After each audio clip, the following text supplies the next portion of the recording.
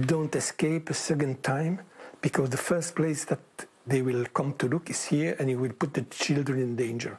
Michel and David were hidden children, both survivors of the Holocaust in Belgium.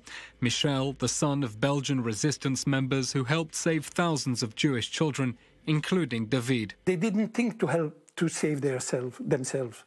They wanted to help the others. When the Nazis invaded Belgium, Abusz and Shifra Werber fled to France and promptly came back. The danger was uh, well known if one read Hitler's Mein Kampf. He didn't think a leader, a political leader, should live and save his skin when it was his duty to lead his people that he left behind momentarily. Abusz and Shifra were active in Secours Mutuel, a Jewish aid organization. He printed a Yiddish paper with coded messages. She began hiding children. In September 1942, they joined the Comité de Défense des Juifs, the Committee for the Defense of the Jews. David Inowlocki was one year old when the war broke out. His father fled to France. When the Nazis circumvented the Maginot Line, his life was saved thanks to a stark warning from a communist survivor of Dachau.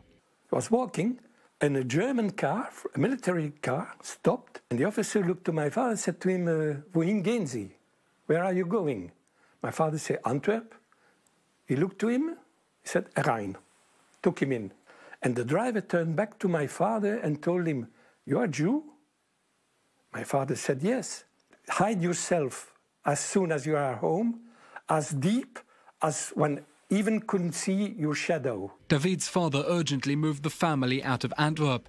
By now, the CDJ was busy moving Jewish children around the country, a complex operation. You had to provide money in the hiding place, so you had to visit them uh, again. It was not permitted to the parents to go there. Shifra Werber stored the children's details in five separate books to keep them safe in case the records fell into the wrong hands. There was the original name of the children. There was uh, where the uh, the contact with parents, the where they were hidden, and so on and so on. When a strange woman turned up to take the Inowlocki children, their mother refused. So she couldn't uh, uh, leave the children, let go the children without knowing who, who, the, who the lady that came to fetch us was really. She didn't know, it was a secret, and no, nor the place where we had to go. And she didn't know she would, would see us again. We were crying, all of us were crying. And uh, I remember still my mother saying to me, before we left, to my brother and me, don't forget you are Jews. Don't forget you have a sister. And also, don't look to the Germans straight in their eyes.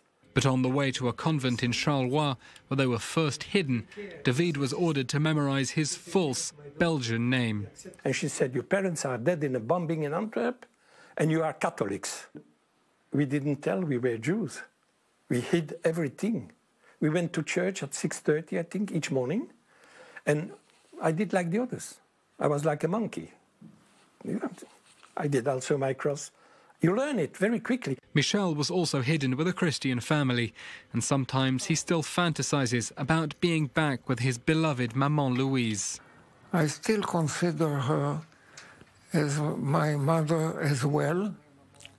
Not that I want to be Catholic, but I didn't, I didn't feel all the time uh, Jewish, uh, you know, as if I would have stayed home during the war.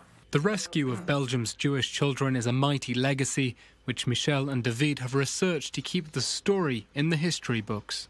I feel uh, proud of them, mainly proud of them, and uh, I really had to fight very hard to have people recognize their role. And this is something formidable.